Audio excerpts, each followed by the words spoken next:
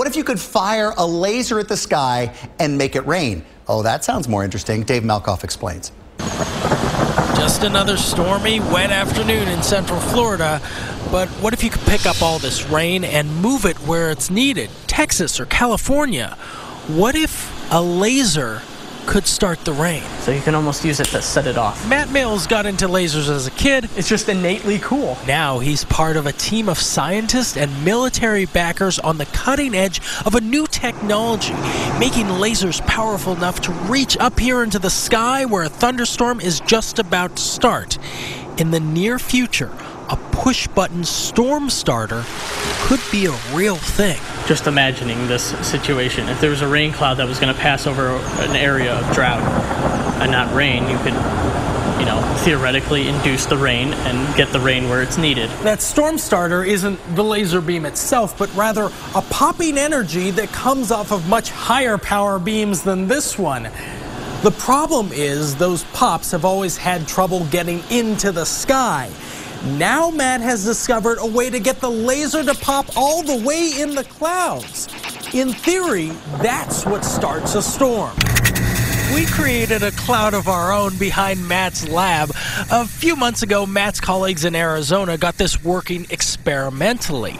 The next step is to get it to work in the sky. The particles in the air are rubbing together, forming static electricity, and the conditions are now right. And they just need to be triggered now. Does this concern you that you may be messing with Mother Nature and doing something that you don't completely understand up here in the cloud? Uh, I, I, mean, I suppose that's always a danger, but we're not even near to the case where it could be dangerous yet, so not too much. It's almost like an on off switch for a thunderstorm. That's the idea behind it. Right here in the cloud. Yep. In Orlando, Dave Malkoff, The Weather Channel. Absolutely fascinating absolutely fascinating. And it could change a lot of things, uh, like these areas of drought that we're watching in the West, if it actually works. I mean, lasers, really? To change the weather? That's right. Well, as Mark Twain once famously said, everyone complains about the weather, but no one ever does anything about it. Well, instead of doing a rain dance, we physicists are firing trillion watt lasers into the sky to actually precipitate rain clouds and actually bring down lightning bolts. This is potentially a game changer. But this is experimental. It's experimental. However, in the laboratory so far it works. When you have water vapor and you have dust particles or ice crystals, you can precipitate rain. It condenses around the seeds. These seeds can also be created by laser beams. By firing trillion watt lasers, you rip apart the electrons, creating what are called ions, and these ions act like seeds, like dust particles, bringing down rain and even lightning. Go ahead. Well, I, I, this is fascinates me in part because too I remember reading the stories that China had used this during the Olympics, that the USSR had used this after Chernobyl to create rain clouds. I mean, w- did those really work then? We have some of these capabilities now. Inconclusive. Even in the 60s, the CIA used this to uh, bring down monsoons during the Vietnam War to wash out the Viet Cong.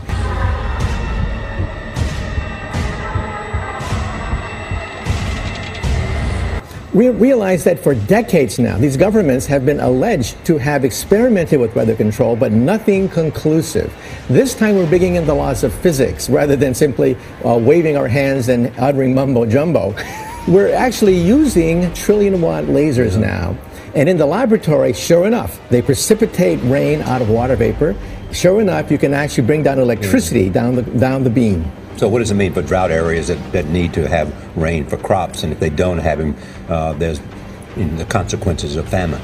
Well, the bad news is if it's a clear blue sky, it's not going to do anything at all because it only takes water vapor that's already in the air and condenses it. However, for floods, for agriculture, farmers, for people planning wedding parties, uh, football games, you name it, outdoor events and agriculture and flooding and even hurricanes. All of them could be subject to weather modification. Incredibly interesting, Professor Michio Kaku. Thank you so much. Mm.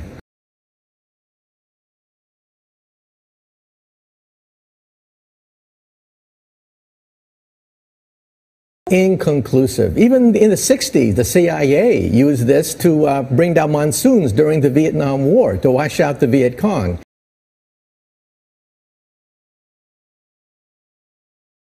Amerika Serikat, di atas segala retorikanya, kerap melakukan berbagai cara licik untuk memenangkan perang.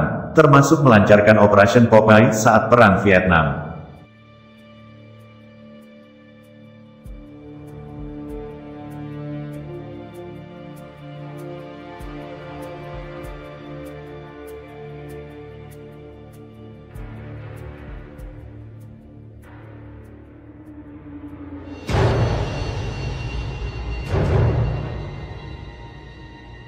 Seperti saat mereka menggunakan bom atom untuk meluluhlantakkan Hiroshima dan Nagasaki karena kewalahan menghadapi Jepang saat Perang Pasifik.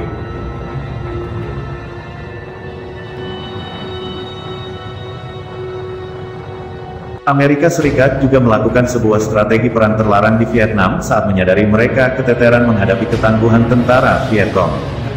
Proyek yang oleh beberapa orang disebut seperti meminjam tongkat Dewa Zeus itu sendiri sebenarnya sempat disangkal oleh Amerika.